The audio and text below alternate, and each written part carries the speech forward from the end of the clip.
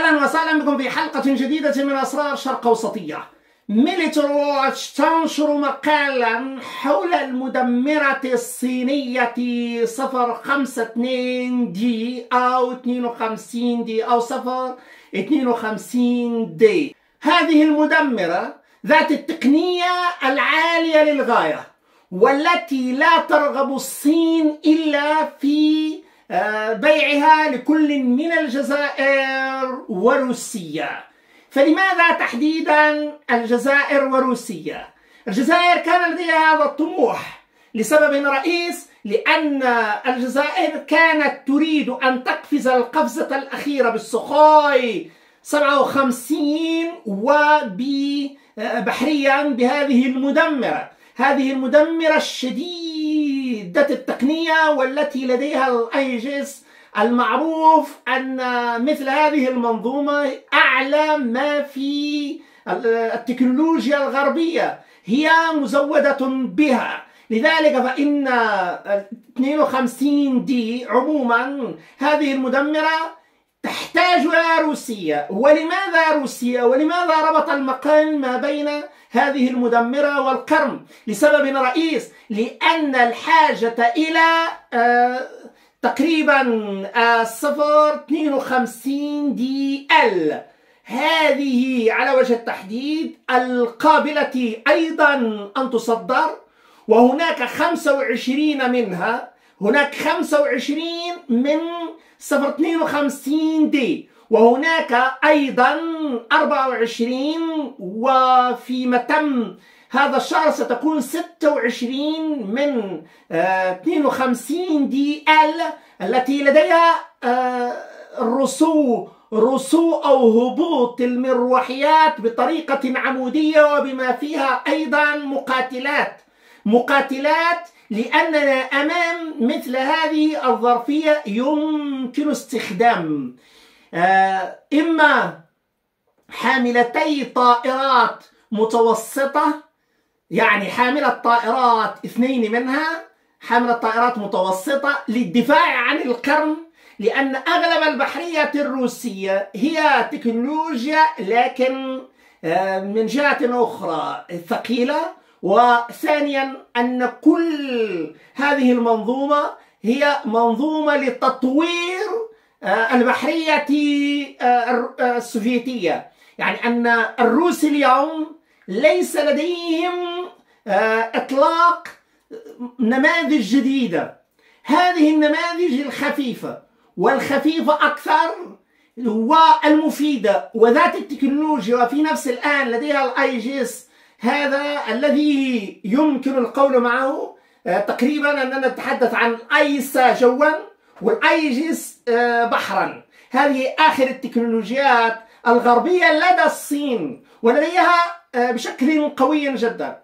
ولدفاع روسيا عن القرن لا بد أن تكون مثل هذه المدمرة. ولذلك روسيا في حاجة إلى مثل هذه المدمرة خصوصا بعد إغراق موسكفا. إذا لدينا هذا التفصيل في حماية الموقع أو المصالح المشروعة بتعبير وزير الخارجية الصيني هناك. أول مرة يعتبر المصالح المشروعة أي من داخل النظام الدولي الحالي المصالح المشروعة للبلدين. إذا الشرعية أولا. يعني لا يمكن بأي حال إلا العمل داخل النظام ما بعد الحرب الكونية الثانية. يجب إسقاط أمريكا ولكن في نفس الآن لا يجب الخروج عن النظام العالمي هذا بل الانتقال السلس. كما حدث من بريطانيا العظمى إلى الولايات المتحدة الأمريكية يجب أن يعود إلى آسيا وبدون خسائر كبيرة. إذا أمامنا هذا التصور الذي يدفع الصين إلى التفكير مرتين. مرة في القرن عبر هذه المدمرة وأيضا في جبل طارق. جبل طارق يجب يجب أن يكون هناك داعم استراتيجي للصين في هذه الأستراتيجية عموما.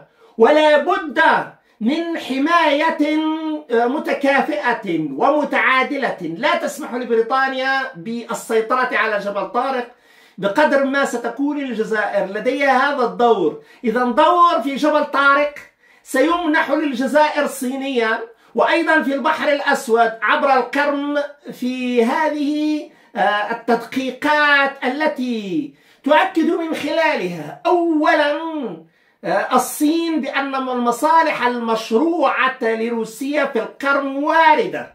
ولذلك فتسليم مثلها أو بيع مثل هذه المدمرة لديها على الأقل مشروعية. يعني مشروعية 2014 مشروعية مينسك وما تبعها فبالنسبة للقرم ولدونباس الأمر محسوم. ويجب أن تبقى روسيا على هذا الحد ولا تتجاوز. إذا بالنسبة هناك سؤال دائما أطرحه حول قضية الهجوم الربيعي والهجوم الشتوي. كل هذا. آه، الروس لديهم ساعة استراتيجية وهناك ما سماه وزير الخارجية اليوم الصيني بالاصطفاف الاستراتيجي أو الالتصاق الاستراتيجي.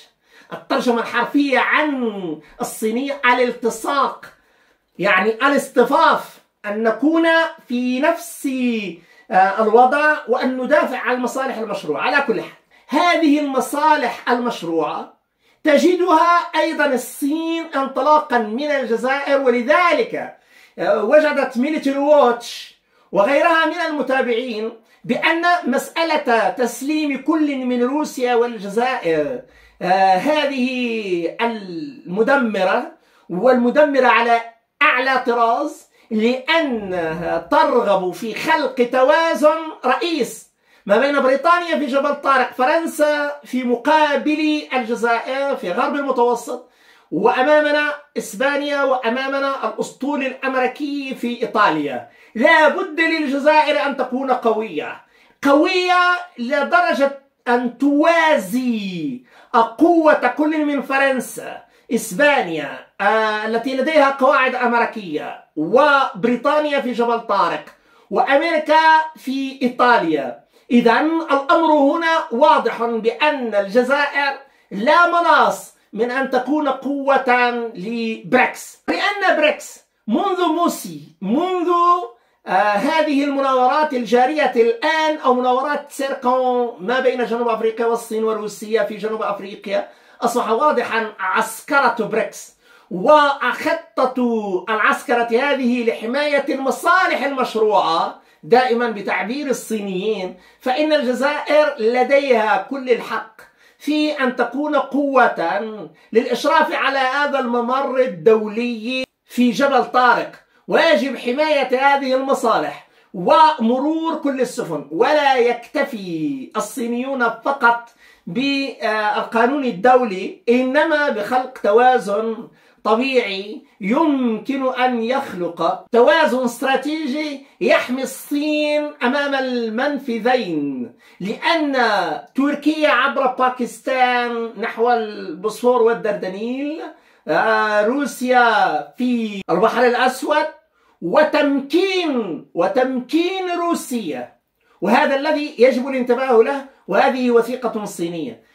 تسليم أو بيع لأن في بعض الوثائق فيه تسليم. السماح بتسليم السماح بتسليم صفر 52 دي إلى روسيا. وهناك أيضا صفر 52 دي إل المعروفة بأنها آه، تمتلك حظوة أخرى في الهبوط العمودي لمروحيات آه، دي إل.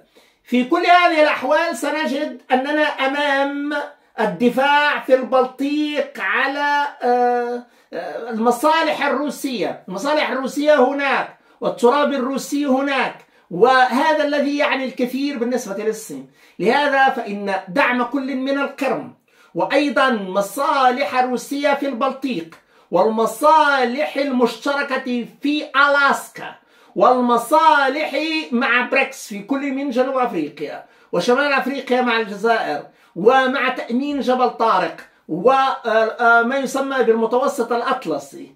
هذا التأمين الكامل هو الذي جعل من ميليتري ووتش تؤكد أن هناك وثائق للدفاع والخارجية الصينية تجعل من صفر 52 مؤهلة. هذه المدمرة مؤهلة أن تكون في دولتين روسيا والجزائر. حصرا.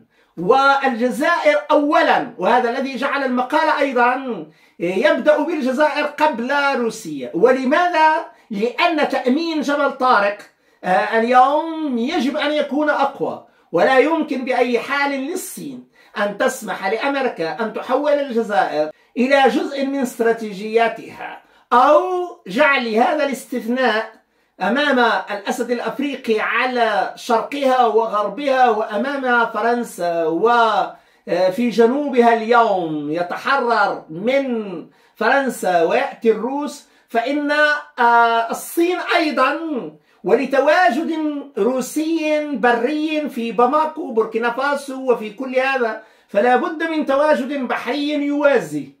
ولأن هناك تركيز كبير على شرق المتوسط فهناك تركيز أقوى على غرب المتوسط. ولذلك فالجزائر تأخذ هذه الحظوة لأسباب استراتيجية بالأساس جعلت من هذا المقال مهما للغاية لأن لديه استشراف واضح مع الدراسات الصينية المواكبة.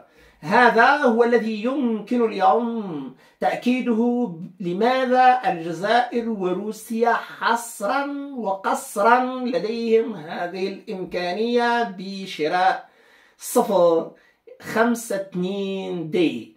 وهذا هو أقدر. هذا هو الخيار الأقدر على بناء استراتيجية بحرية. وهذه الاستراتيجية البحرية ستكون متقدمة للغاية وهذا الذي يمكن الآن قوله تأكيده من خلال مقال Military Watch وأيضا من خلال دراسات صينية حول الجزائر في الاستراتيجية الجديدة. شكرا جزيلا وإلى اللقاء.